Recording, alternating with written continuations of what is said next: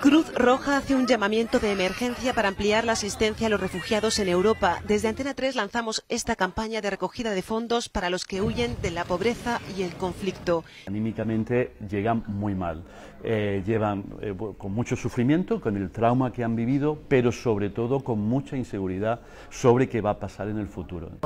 En lo que va de año han llegado a Grecia, la puerta de entrada a la ruta de los Balcanes, unos 230.000 inmigrantes.